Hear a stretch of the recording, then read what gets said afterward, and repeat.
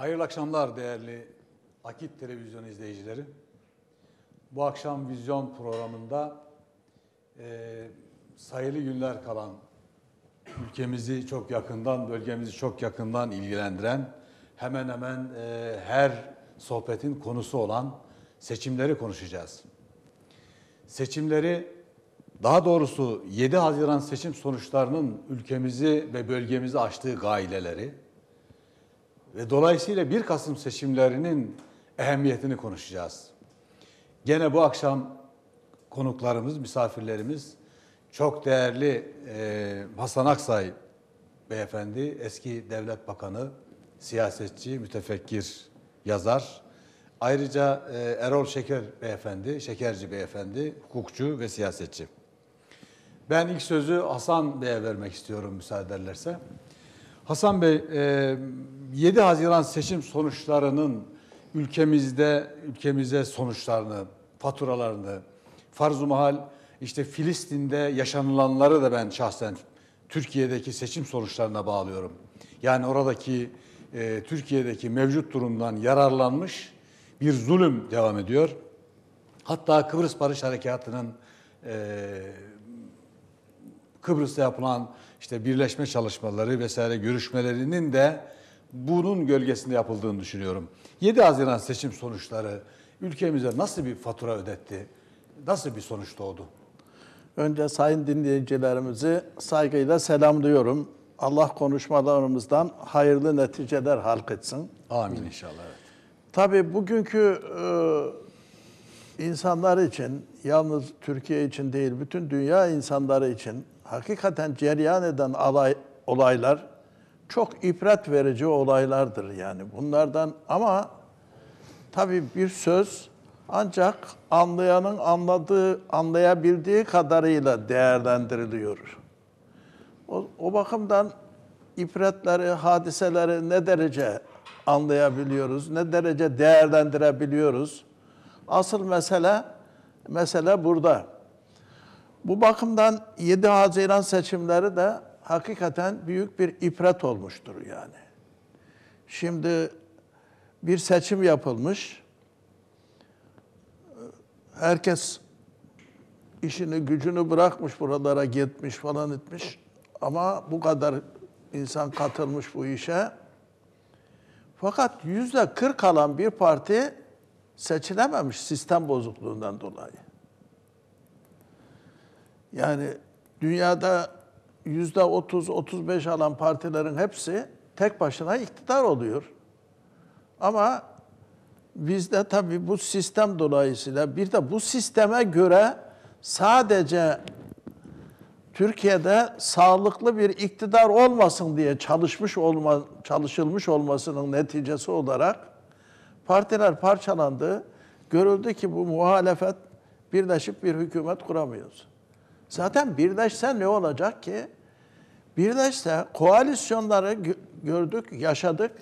Hiçbir koalisyon uzun ömürlü olmuyor. Bu tabii bir, Kasım... bir dönemi dolduracak kadar bile hayatları olmuyor. Yani yaklaşık ben e, hatırladığım kadarıyla e, AK Parti'nin bu uzun dönem e, hükümet etme e, süresini çıkardığımız zaman 7 ay gibi bir süreye tekabül ediyor. Yani Anavatan Partisi'nin uzun süreli hükümetinde çıkardığınız zaman koalisyon hükümetlerinin ömrü 4 ay olmuş Türkiye'de. Evet. Zaten, Böyle bir sonuç.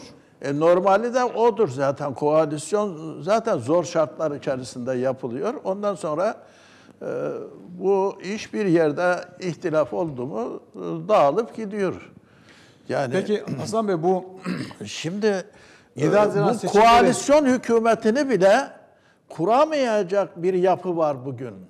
Koalisyon hükümetini bile kuramayacak bir yapı var. İşte AK Parti o kadar koalisyon yapalım diye çalıştı. Görüldü ki koalisyon hükümeti dahi kurmak öyle kolay değil. Hele Halk Partisi başlangıçta AK Parti'nin dışında biz bir koalisyon kuralım dedi. Başbakanlık bile verdi. Tabii bir bloktan ama, bahsetti, evet. Ama yani e, Bahçe, Devlet Bahçeli'ye başbakanlık teklif etti. Tabii bunlar biraz da komedi oynar gibi hadiseler oldu yani. Şimdi koalisyon kurulacak. Koalisyonu kim kurar? Partiler mi kurar? Partiler kurmaz koalisyonu. Partiler partiler oy bakımından oy temin etmek için koalisyonu tayin edilen hükümet kurar. Yani şey hük- hükümeti kurmakla vazifeli olan başbakan kurar. Koalisyon hükümeti başbakanın hükümetidir. Partilerin hükümeti değil. Peki Yani Hasan Bey bu, bu, e, yani bu başbakan kurar. Bunlar başbakan kimseye teklif etmeden kendiler kırmızı çizgiler çizmeye başladılar. Daha dünya, şimdiye kadar ben 1961'de meclise geldim. O günden beri de yani mevcut cumhurbaşkanlarının 12'siyle görüşmüşlüğüm, tanışmışlığım, var. On- 12 cumhurbaşkanının 11'iyle. Çünkü Atatürk zamanında ben 3-4 yaşındaydım. O bakımdan e, şeyi ama öbür İsmet Paşa ile aynı hükümette bulunduk. E, e, şey hükümet partisi olarak yani iktidar Evet. partisi olarak bulunduk. Ben AP Genel İdare Kurulu azası olarak bulundum o zaman. Vesaire. Yani bunu müsaade ederseniz 7 Şimdi yani bir 1 de, Kasım seçim bir de sonuçlarıyla tabii ilgili. koalisyon koalisyon 70 kurulsa bile ne olacak? Mesela şimdi ko, koalisyon istikrar için dışarıdaki adam da, tüccar da, buraya Türkiye'ye para yatıracak olan adam da vesaire Türkiye'de istikrar olduğunu bilmesi gerekiyor. Onun için Tayyip Erdoğan Bey bugün Cumhurbaşkanımız Tayyip Erdoğan Bey başbakan olarak vesaire ne yaptı? 21 senelik bir program yaptı. Bin- 2002'de iktidara geldiler. 2023'ün programını yaptılar. 2023'ün programını yapınca büyük yatırımlar, kalkınmalar vesaire böyle oluyor. Yani özel dönem- dönemindeki kalkınma neyden oldu? E, ik- istikrarlı bir hükümet oldu. Menderes zamanında öyle oldu. Ee, şey Erbakan zamanında işte başlangıçlarını yaptı o. Çok yeni başlangıçlar yapmış, yapmış olmak bakımından önemli bir şey oldu. Onun için yani e, 7 Haziran seçimleri ibret olarak milletimize kesinlikle böyle e, koalisyon kuracağız da biz koalisyonla memleket idare edeceğiz diyenlere iltifat edilmemesi gerektiğini gösteren bir şeydir. Sadece istikrar bakımından da değil. Bugün Türkiye'nin her bakımdan ihtiyacı var. İstikrar çok önemli. Evet, istikrar bugün de önemli ama istikrar bugün yeterli değil. Etrafımız ateş içerisinde. Bu ateşe Kıbrıs karşı görüşmelerini etkiler mi sizce? lazım. Yani Türkiye'nin e, bu durumunun devam etmesi, yani 7 Haziran sonucu gibi bir sonuç. e, Mesela Kıbrıs görüşmelerini ülkemiz açısından Kıbrıs'ın aleyhine bir e, duruma sokar mı? Bir de Filistin'de yaşanılan İsrail'in yaptıkları zulümler var. Siz buradaki ülkedeki 7 Haziran seçim sonuçlarının e, bu hususta etkin olduğunu düşünebilir misiniz? Bunu söyleyebilir misiniz? Yalnız İsrail onun Suriye için değil, Türkiye için de çok sıkıntılı günler gelir yani. Bunlar mesela şimdi Halk, Partisi ne diyor? Şart olarak ya ben koalisyon olacaktım diyor. Ama e, bana teklif etmedi koalisyonu diyor. Nasıl teklif etsin? Sen ne diyorsun arkadaş? Sen diyorsun ki 8 yıllık çizgi 5'e indirmişsin güya. İstersen 1'e indir. Bununla koalisyon yapılmaz ki 5'e indirmişsin. Ne diyorsun? 8 yıllık kesintisiz eğitim diyorsun. Bu ne demektir?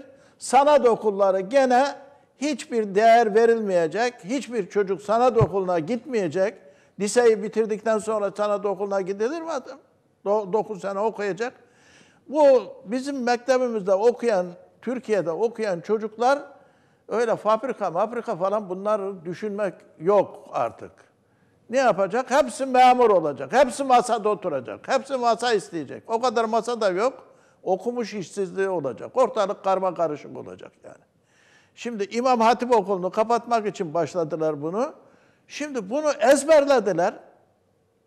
Ecevit zamanındaki bu şeyi getiriyor getiriyor. Bütün yapacağı şey Ama esasen kırmızı diyor çizgi. ki İmam Hatipleri kapatmayacağız biz diyor. İmam Hatipleri bizim Tabii kapatmayacak. Bir de diyor ki Yahu bu söylediğin senin birbirini tutuyor mu? Bir de diyor ki bütün sanayi odalarının hepsi şeylerine, sanayi bölgelerinin hepsine sanat okulu yapacağım diyor.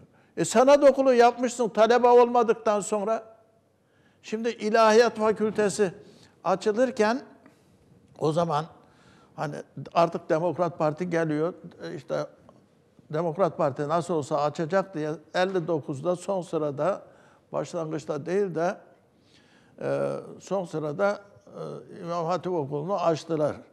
O zaman açılırken Milli Eğitim Bakanı Halk Partisi'nin bir konuşma yapıyor meclis zabıtlarında. Diyor ki 1930'lu yıllarda açtığımız İlahiyat Fakültesini eğer onun gibi açacaksak açmayalım Allah aşkına diyor yani. Niye? Onu diyor biz ilahiyat fakültesi değil felsefe ve sosyoloji mektebi yaptık diyor. Talebe bulamadı diye de kapattık. Halbuki oraya talebe geldi ama baktı ki bu mektep ilahiyatla alakası yok. Felsefe, sosyoloji okumak isteyen adamlar da oraya gitmedi. Onun için orada talebesiz kaldı. Yani Kapattık aynı diyor. o operasyona benzer bir operasyon. Şimdi sen liseyi bitirinceye kadar çocuğa mesleği öğretmeyeceksin. Mesleğe ayırmayacaksın. Ondan sonra liseyi bitirdikten sonra üniversiteye giden ço- çocuğu üniversiteden çık da seni Sanat okulunu alalım. e, şey yap, yap- çırak yapalım. Evet. Çırak yapalım, Peki. böyle sanatçı yapalım diyeceksin. Bunlar mümkün değil. Yani bununla millet, insan mantıklı bir adamın e, bu lafı söylemesi ayıp ya. Hem ma- bu sanat okullarının önünü tıkayacağım ben, burayı çıkmaz sokak yapacağım, buraya kimse girmesin diyeceğim.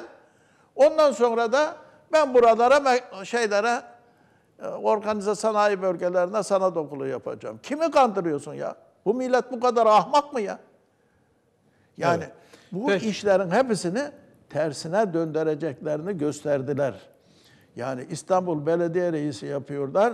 Adam diyor ki havaalanını ben kapatacağım bu havaalanını. Üçüncü havaalanı olmayacak. Ben başka yere yaptıracağım, yapacağım. Hoppala. Ya senin ömrün kaç gün olacak kardeşim?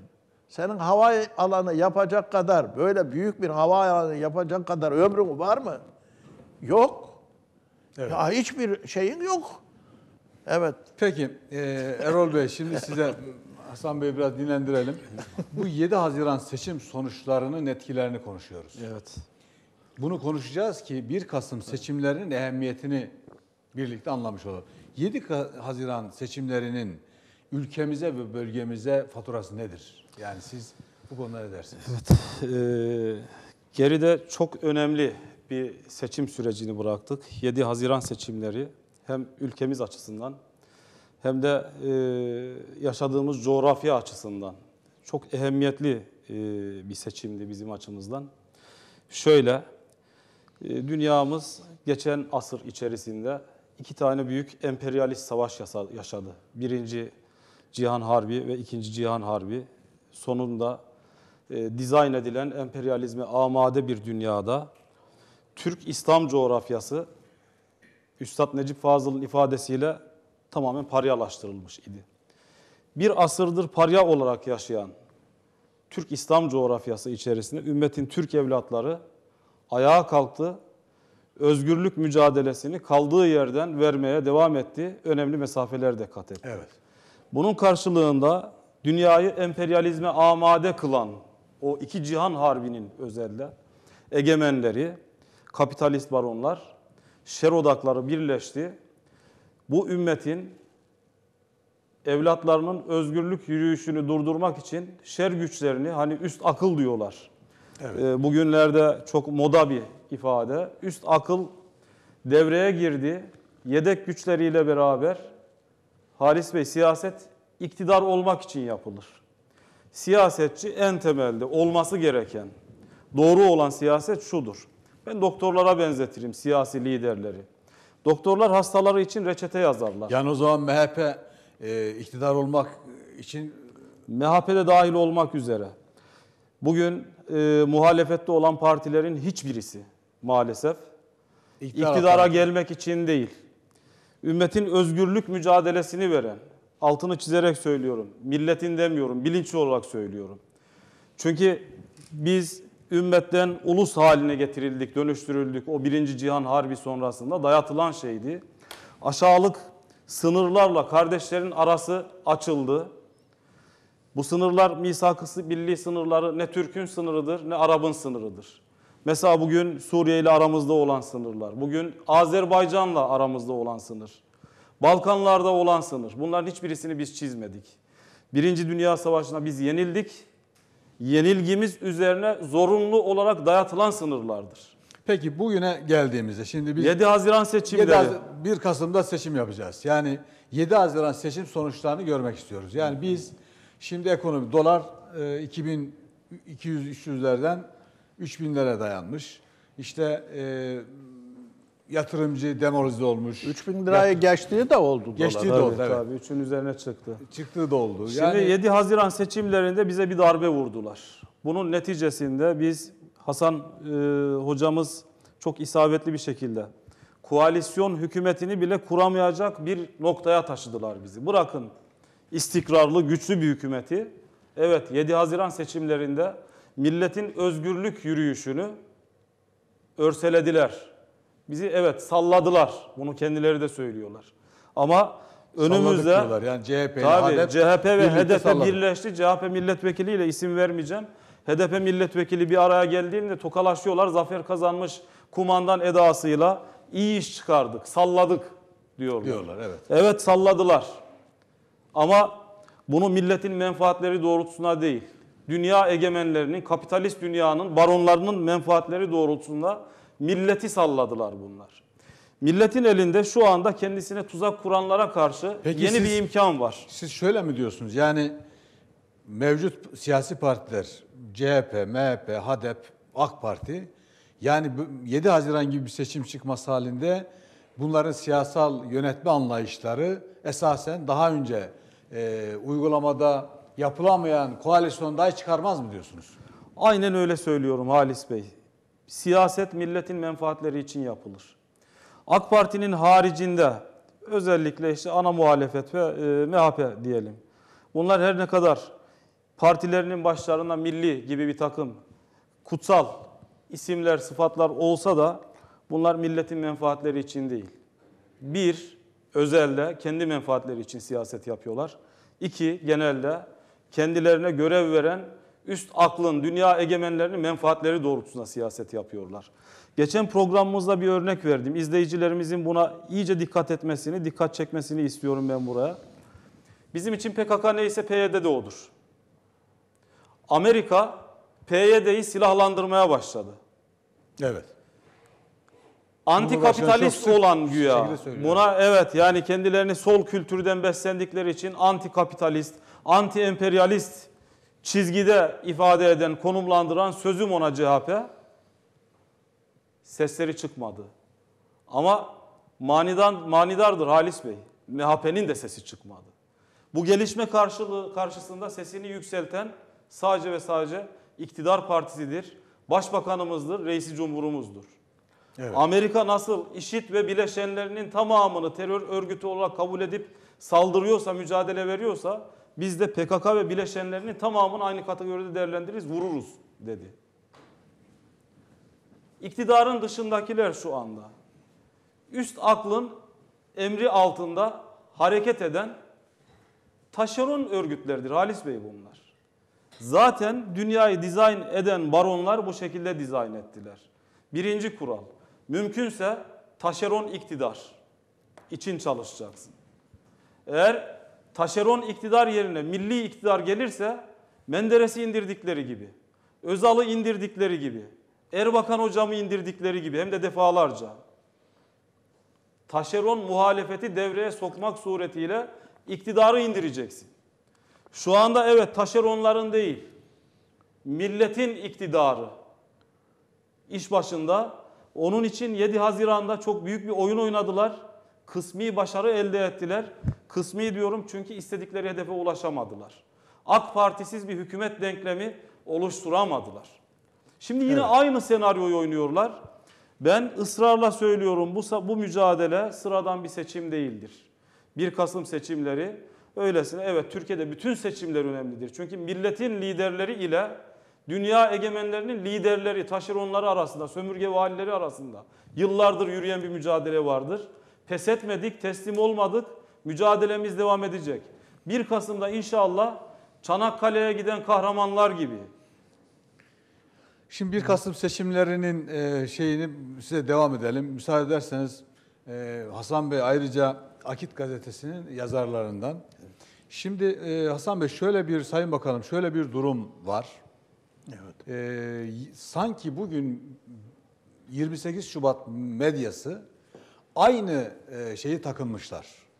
Yani 28 Şubat'ta takındıkları tavırlarının aynısını bugün sahneliyorlar mı?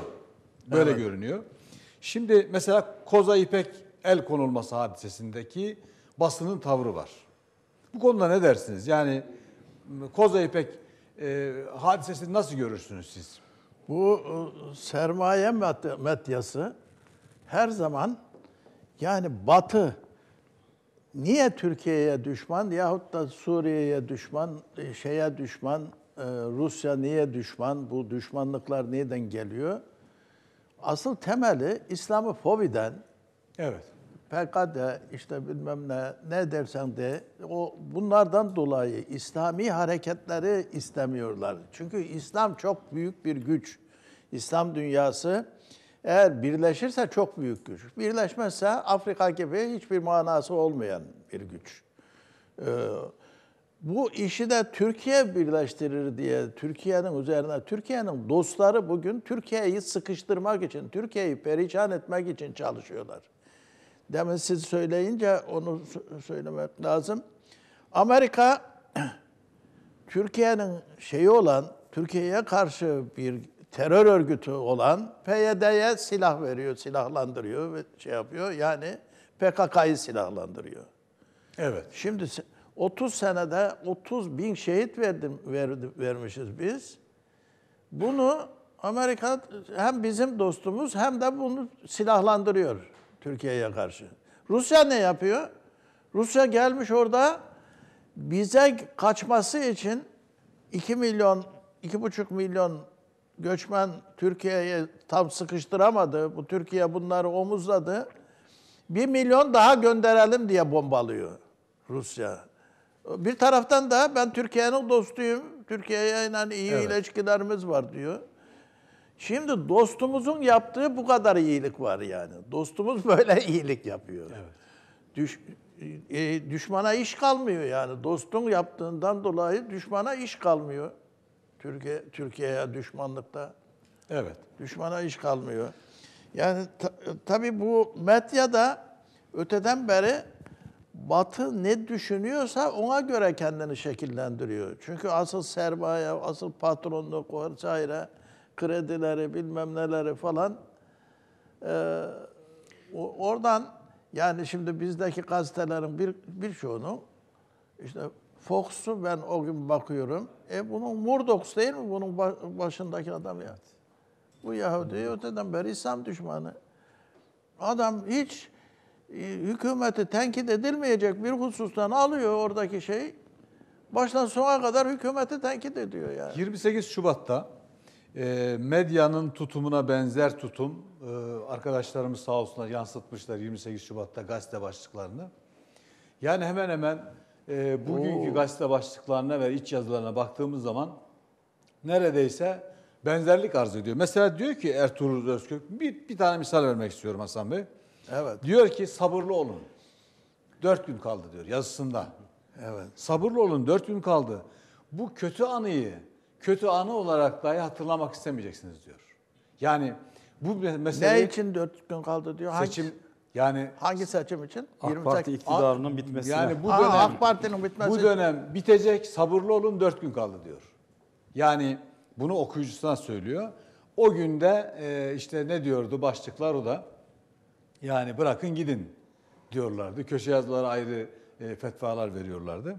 Yani o günle bugün baktığımız zaman mesela Koza İpek e, şeyiyle ilgili şimdi bir vatandaşımız burada şey göndermiş mesaj diyor ki Koza İpek'le ilgili biraz önce size sordum. Diyor ki Koza İpek e, zaten diyor vatandaştan toplanan paralardır o şirketlerin sahipleri olarak görünenlerin çoğu hiçbir ticari geçmişi olmayanlardan oluşuyor. Yani devlet diyor bunu incelediği zaman bunu görecek diyor. Yani Koza İpek'e, Koza İpek'i de bugünkü gazetelerde bu bir kısım medyanın e, takındığı tavırı incelerken görüyoruz ki Koza İpek meselesi e, gündeme taşınmak suretiyle 28 Şubat'ın bir benzerini yeniden hayata geçirmek istiyorlar. Peki bir kısa ara daha vereceğiz. Buradan e, devam edelim Hasan Bey. Çok kısa bir aramız var değerli izleyenler.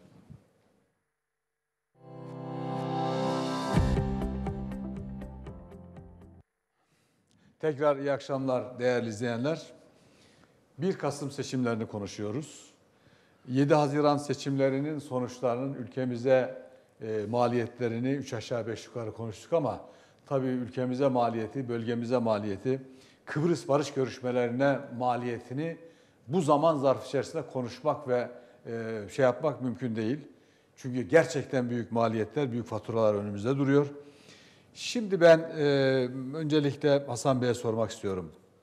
Bu 7 Haziran sendromundan kurtulmak ve 1 Kasım seçimlerinin e, bölgemiz, ülkemiz e, için önemli, ehemmiyeti nedir? E, buyurun Hasan Bey. 1 Kasım seçimleri Yani- niye önemli? Bunun önemini e, tayin ve takdir etmek imkanı yok. Çünkü bu hayatımız demektir yani. Allah göstermesin Yunanistan ne neydi? E, fert başına milli geliri nerelere çıkmıştı? Birdenbire depe taklak gider. Yani yapmak zaman istiyor falan diyor. Ama hani Akif diyor ya e, şey için Süleymaniye'yi yıkmak için üstüne iki tane kazmalı adam çıkar, akşama sana yıksınlar. Heyhat, heyhat ki yeniden yapmak için bir Süleyman gene lazım, yeniden bir de Sinan diyor. Yani bir Yani şeyi... Süleyman da yetmez. Ayrıca Sinan da lazım. Evet. Bir de Sinan lazım geliyor. Yani yapmak o kadar o kadar zor. İşte yani e, yakın tarihimiz baştan sona yıprat. Ecevit e, şey Ahmet Necdet Sezer tuttu bir şey attı. Anayasa Anayasa attı e, Ecevit'in ba- başına. Para pul oldu. Tayyip Bey 3 kaç sıfır et, attı? 6-0 attı. 6-0 attı, evet. 6-0 attı yani. O günkü demek ki 1 lira, bugünkü 1 milyon lira. Yani o günün 1 milyon lirası bugün 1, mily- 1 lira. Evet. bin lira. E, Öyle ya. Şimdi şeyde Adana'ya vardım. Burada karpuzun kilosu 3 liraydı. Adana'da dedi ki 150 bin lira dedi. Ya oğlum şey, eski rakamı söylüyor. Eski rakamı 150 söylüyor. bin lira diyor. Lan o nasıl olur yani İstanbul'da 3 lira burada 150 bin lira falan. Böyle acayip bir şey olmuştum yani o, o zaman. Ee, Şimdi ondan sonra Ecevit bu işin içerisinden çıkabilmek için, bu işin içinden çıkabilmek öyle kolay değil. AK Parti 12 sene Allah'a şükür dünyada ortalama şeyimiz o zaman krizler oldu vesaire oldu. Buna rağmen kalkınma hızımız yüzde yedi. Yani dünyadaki 190 de- devletin önündeyiz. Ve dünyada işte 8. olduk, 7. olduk. O sıralarda hep Evet. oynadık. Şimdi e, yani bu nimet küçük bir nimet değil. Adam nimete körlük kalp körlüğüdür. Nankörlük olarak ifade edilir bu yani. Nankörlüktür. Amerika'dan Ecevit tuttu Kemal Derviş'i getirdi. Çok yetkili, üstün yetkili bakan yaptılar bunu. Maliyeleri kurtarmak için, Türkiye'yi kalkındırmak için. Ondan sonra e, ne oldu? Ondan sonra Ecevit dedi ki en büyük hatam Kemal Derviş'i getirmektir dedi. Evet. Yani daha önce 1970'te Nihat Erim 70 darbesinde Nihat Erim'i başbakan yaptılar. Nihat Erim Amerika'dan bir takım şeyler, bakanlar getirdi. Yani Kara Osmanoğlu vesaire. Ne oldu? Memleket daha fazla sıkıntıya girdi. Daha fazla battı. Ya 100 seneden beri neler yapılmış yani? Halk Partisi'nin zamanı belli. Halk Partisi cami satmış, şey satmış, vakıf satmış vesaire etmiş, maaş vermiş. 60 ihtilali ne yaptı? Evli insanların yüzüklerini şey yapma, bağış olarak istedi. Evliler yüzüklerini çıkardılar, verdiler. Ben, ben o zamanı çok iyi bilirim. Şeyi memurlar ha biz sonra ihtilalin karşısı olarak görürler de bizi atarlar diye hepsi işte alyansı, altını ne varsa gümüşü, yüzüklerini topladılar, verdiler. Yani bunlar Şimdi tabii me- yeni memur maaşını ödemek için şimdi şimdi şey AK Parti hazineye para koydu, borçları ödedi, IMF'ye de para verdi. Bu bitmez zannediyorlar. Şimdi İki günde bitirirler bunu. Bu yaşanan 10 yıl önce Türkiye'de yaşananı bilmiyor. Yani dolayısıyla tabii e, Türkiye'nin 15 yılıyla bugün e, 15 yıl öncesi böyleydi dediğimiz zaman hemen hemen yaşı yaş ortalaması 30 civarında olan insanlar bunu maalesef anlayamıyorlar. Çünkü e, 15 yaşındayken yaşadıkları şeyler oluyor okul tam çağında. Bunların farkında değiller. Peki Maalesef yani o bu, bu çok mühim bir yer söyledim. Dün e, ben şey, postaneye gidiyordum. İlla bir çayımızı iç diye bir tane emlakçı beni içeriye koydu. Ondan sonra oradaki gençler işte üniversite mezunu falan herhalde onlar. Diyor ki ya her gelen diyor böyle idare eder bu memleketi diyor. Ya ne, bu memleketi idare etmek kolay mı? Sen sen dedim yani bir savaş generalle kazanılır, generalle. Asker ölür, asker kahraman olur. O, o ayrı bir şey. Ama general o askeri eğer doğru yola, doğru cepheye sürmez de yanlış cepheye sürerse hepsini kırdırır. Evet. Hepsini öldürttürür. Yani Ki tarihte örnekleri asker, pek çok. askerin kahramanlığı, kahraman kahramanlığı ancak bu benim söylediğim bir laf değil. Savaşları ordular.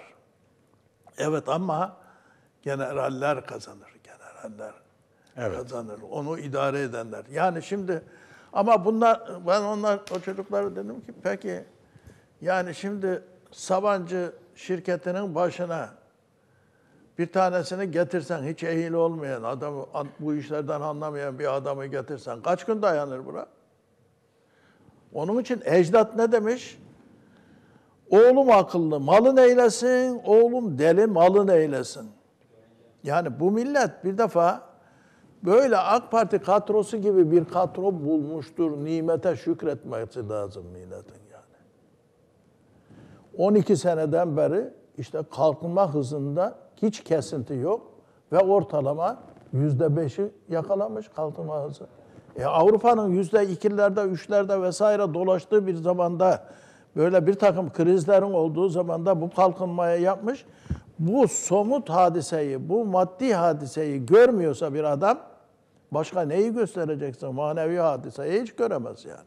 Şimdi geçen hafta e, Kıbrıs'ta e, Kıbrıs'ın e, Barış Harekatı'nın yıl dönümü dolayısıyla Erbakan Vakfı'nın bir toplantısı oldu. Beni de davet ettiler, katıldım. Orada Kıbrıs'ın eski Cumhurbaşkanı, Başbakan Yardımcısı, e, siyasi parti başkanları, mücahitlerin genel başkanı söz aldı ve konuştular. Geniş anlatacak değilim ama şöyle bir sonuç doğdu. E, konuşmacılar hemen hemen üç aşağı beş yukarı şuna benzer laflar ettiler. Önce Allah sonra Türkiye arkamızda istikrarlı ve güçlü bir şekilde durması lazım. Biz burada vatan olarak kalacaksak ve millet olarak kalacaksak. Şimdi e, Erol Bey size dönmek isterim. Yani Kıbrıs'ta böyle bir beklenti var. Kıbrıs, yani siz varsanız biz varız diyor. Ee, Filistin siz varsanız, önce Allah diyor ben parlamenterlerinden dinledim, bizzat ben duydum kulağımla. Yani önce Allah sonra Türkiye e, bizim yanımızda diyor. E, bütün mazlum milletler Bosna Hersek'ten işte tutun da nereye giderseniz mazlum milletlerin geçen hafta konuştuk. Göz bebeği konumunda yani sırtını dayayabildiği e, bir ülkeyiz. Bu 1 Kasım seçimlerinin bu bakımdan da bir tahlilini yapar mısınız? Yani 1 Kasım seçimleri maazallah Haziran seçimlerine yakın bir sonuçla çıkması ne olur? Yani buraları nasıl etkiler? Şimdi Halis Bey, e, tarihin belli kırılma anları vardır. 1 Kasım seçimleri tarihin yeniden kırıldığı, taşların yeniden dağıtıldığı, sınırların yeniden çizildiği bir zaman dilimine denk geliyor. Yaklaşık 100 yıldır haritaların değişmesine biz e, uzak kaldık, unuttuk o tarihleri. Ama aradan Yani geçen... şu anda Suriye konuşuluyor. Evet. Yani masada Suriye evet. Suriye'de konuşuluyor. Irak'ta zaten fiilen oldu. Defakto olarak sınırlar değişti. Aynı şey Libya'da oldu. Mısır'da olması mümkün. Efendim işte Kıbrıs meselesi. Kıbrıs hemen 1 Kasım seçimlerinin arkasında 14 Kasım'da Amerikan Dışişleri Bakanı Kerry Kıbrıs'ı ziyaret edecek. Arkasından Kıbrıs'ın garantör ülkelerinden İngiliz Dışişleri Bakanı ziyaret edecek. Almanya ziyaret edecek Dışişleri Bakanı ve yanlış hatırlamıyorsam 24 Kasım'da da Sovyetler Birliği Dışişleri Bakanı, Rusya Dışişleri Bakanı Lavrov Kıbrıs'ı ziyaret edecek. Kıbrıs'ta baş döndürücü hızla e, değişime, dönüşüme hazır olmamız lazım. İşte onun için söylüyorum. Şimdi tarihin aktörü olmak var, tarihin seyircisi olmak var. Tarihin kırıldığı, yeniden yazıldığı, şekillendiği dönemlere hazırlıklı giren milletler o kırılma anından güçlü olarak çıkarlar. Biz Birinci Evet. Dünya Savaşı'na hazırlıklı olarak girmedik. Bütün Türk İslam coğrafyası Birinci Dünya Savaşı'ndan parya olarak çıktı. Aradan 100 yıl geçti. Tarih bize yeni bir şans verdi. Bu yeni sürecin efendisi olarak, onurlu bir millet olarak, ümmetin öncüsü, göz bebeği olarak bu mücadeleden çıkma şansımız var. Bu Kıbrıs için de böyledir. Biraz önce çok isabetli bir şekilde buyurduğunuz gibi. Önce Allah, sonra Türkiye diyen bir Bosna var. Çok açık bir şekilde Önce söylüyor. Allah, sonra Türkiye diyen Suriyeli mücahitler var, Müslüman kardeşlerimiz var. Mısır zindanlarında Mursi'miz var, sonra Türkiye diyen. Myanmar'da kardeşlerimiz var bizim. Bizler Müslümanız Halis Bey. Bu sınırlar bize emperyalistler tarafından giydirilen sınırlardır. Bu coğrafya bizimdir. Geçen sohbetimizde bahsettik. Bu coğrafyada Irak'ı, Suriye'si, Libya'sı, Tunus'u, Ürdün'ü, Kuveyt'i, Arabistan'ı fark etmiyor. Mısır'ı, Libya'nı, Libya'sı, Bosna'sı, Balkanları, Kafkasları. Bu topraklar birbirinin mütemmim cüzüdür. Bağdat benimdir. İstanbul, Ankara Bağdatlınındır. Bosna benimdir. Edirne Bosnalınındır. Biz kardeşiz. Aramızda evet e, yönetim mantığı gereği sınırlar olabilir ama Avrupa Birliği'nde olduğu gibi bu sınırları inşallah bir gün formalite sınırlar haline dönüştürmek istiyorsak, Erbakan hocamın hayali olan, rüyası olan İslam Birliği'ni yeniden kurmak istiyorsak, tarihin bize yüklemiş olduğu sorumluluk, Türk Birliği'ni, Müslüman kardeşlerimiz bunlar bizim aynı zamanda. Evet. Balkanlar bizimdir, Kafkaslar bizimdir. İlla sınırları doğrudan değiştirmeye, bir yer- bir yerleri fethetmeye çıkmaya falan gerek yok. Bizler 10 küsür yıllık AK Parti iktidarı döneminde Rabbime hamdolsun vicdanların kazananıyız Halis Bey. İnşallah 1 Kasım'dan sandıkta tekrar güçlü bir AK Parti çıkarsa sadece vicdanların değil, Dünyadaki küresel güçlerin korkusu da budur zaten. Biz meydanların ve cephelerin de kazananı olacağız evelallah. Bundan Yani- korkan güçler, bunu gören güçler AK Parti'nin sandıktan çıkmaması için ellerinden gelen her türlü oyunu, her türlü tezgahı alçakça sahneye koyuyorlar, oynuyorlar. Milletimizin bunun farkına varması lazım. Biz sadece birilerini vekil, birilerini bakan seçmek üzere sandığa gitmeyeceğiz 1 Kasım'da. Tam bağımsız bir Türkiye için oyumuzu kullanma imkanımız var. Diş çöktürülmüş bir Türkiye'yi tekrar ortaya çıkarma riski var. İnsanımız bunu görmeli. Vatandaşımız, kardeşlerimiz bunu görmeli, kararını ona göre vermeli. Evet, açık konuşmak lazım Halis Bey. 10 yıllık bir 13 yıllık bir iktidar döneminde evet, iktidar insanları yıpratır. İş yapıyorsunuz. Yaptığınız işler içerisinde yanlışlar da olacaktır. Yüzlerce, binlerce, on binlerce yöneticiyle belki yüz binin üzerinde bürokratla memleketi yönetiyorsunuz. Bu kadar insanın içerisinde yanlış yapan milletten tepede, millete tepeden bakanlar da olacaktır. Yöneticinin hepsini birden tanıma imkanı yok. Yani bu yanlışların tahlili başka bir şey ama Tabii, bunun tabii. takibi başka bir şey ama Onun için diyoruz. e, istikrar sorumluluğu daha başka bir şey. Kişisel menfaatlerimiz değil, ufak tefek menfaatlerimizin örselenmesi, zaman zaman duygusal olarak incitilmemiz değil. Söz konusu vatansa gerisi, Gerisi teferruat olmalı. 1 Kasım'a böyle bakmamız Peki, lazım. bu güzel Benim de sözler- memleketimde yanlış yapan, derebeyi gibi hareket eden yöneticiler var. Bunların hiçbirisine bakmadan lidere, liderin hedefine, ilkelerine, ideallerine bakarak tam bağımsız Türkiye için, ümmetin öncüsü olan bir Türkiye için, ümmetin ümidi olan, hani asrın projesi diyorduk ya. Evet. Bu bize Rabbimin vermiş olduğu asrın nimetidir. Bu nimetin hakkını vermek üzere sandığa gideceğiz inşallah Halis Bey. Ben Peki. vatandaşlarımızdan bunu temenni ediyorum. Peki. 3 dakika gibi kısa bir zamanımız var Hasan abi. Yani siz İnşallah- zaten bir toparlayın. İnşallah aslında ben korkulacak taraflarını değil, nimet taraflarını konuşalım iste, isterim. Buyurun yani bir nimet de. taraflarından. Yani e, Peygamber Efendimiz buyuruyor ki milletler layık olduğu idareye kavuşur diyor. İnşallah milletimiz çok güzel bir idarelere layıktır ve ortada kalmayacaktır. Eğer AK Parti'yi seçmediğimiz takdirde zaten millet ortada kalacaktır. Niye? E AK Parti'yle koalisyon kurmak istemiyorlar. Yani e, istiyorum diyor da AK Parti'nin yaptığı şeylerin hepsini yıkarak istiyorum diyor. Yani efendim e, şey olmayacak, hızlı tren olmayacak, köprü olmayacak, havalimanı olmayacak. olmayacak, bilmem ne olmayacak. AK Parti böyle Yani bir dünya devleti böyle oturmak sadece para yemek için, keyif atmak için AK Parti bu işe girmez.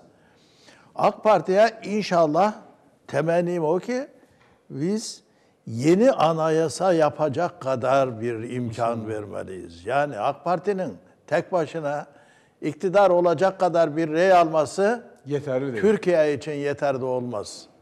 Tamam Türkiye'yi vitesi geriye kaymaz, vites atmaz, geriye gitmez.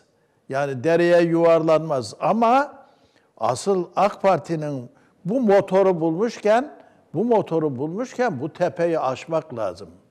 Bu şeyi, zirveyi geçmek lazım. Bu yokuşu çıkmak lazım bu bu şey varken, motor varken. Ee, böyle e, bu her zaman olacak bir şey değil. İnsan bu fanidir, gelir geçer. Ee, yani şimdi yanlış meselesi deniyor. Ya yanlış ne diyorsun sen? Partiler bugün yani eskiden dervişhanelerin kapısında giriş kısmına edep yahu derlerdi. Yani insanın insan olabilmesi için önce edepli olması lazım. Çıkış kı- kısmına da hiç derlerdi. Yani işte ömür gelir geçer, Gelir bir geçer, gün hiç olursun falan diye. Son cümle olarak bir cümlenizi alalım. Evet. Şimdi adam Cumhurbaşkanı'na laf söylüyor. E, mahkemeyle ceza alıyor. Demek ki yanlış yapılıyor. Yani Cumhurbaşkanı'na karşı yanlış yapılıyor. Öyle sıradan bir işte değil yani. Evet, devletin Şu bardağı niye buraya koydu da niye buraya koymadı? Ya Cumhur saray yapılmış bir tane. Adam diyor kaçak saray. Ne demek bu ya? Bu edepsizlik ya. Böyle şey mi olur ya? Niye? Yani devlet devleti itham ediyor adam. Milleti itham ediyor. Milletin bu kadar iyi verdiği kimseyi itham ediyor. Bu da özgürlük oluyor. Ama şeye Merkel'e bir adam bir şey söyledi. O gün birinci celsede hemen cezasını Cezayı, yedi evet. yani. Böyle Peki, olur. De- devlet böyle olur. 1 Kasım İnşallah seçimleri. o günlerde gelecek. 1 Kasım seçimlerle ilgili son cümlenizi alalım. 1 Kasım seçimlerinde inşallah aziz milletimiz birliğini, dirliğini kaybetmeyecek. Benim ümidim Allah'ın yardımıyla istikrarlı, sağlam, güçlü ve şimdi duraklayan bütün işler yani dış sermaye vesaire şimdi bu şey olmadı. Yani Cumhurbaşkanı var, gece gündüz koşturuyor. Hükümet var, geçici hükümet ama geçici hükümet gibi değil, gecesini gündüzünü feda etmiş koşturuyor. Onun için fazla hissedilmedi bir ha- 7 Haziran'ın şeyleri, felaketleri. Ama gene de çok büyük felaketler oldu. Mesela işte dolar fırladı gitti.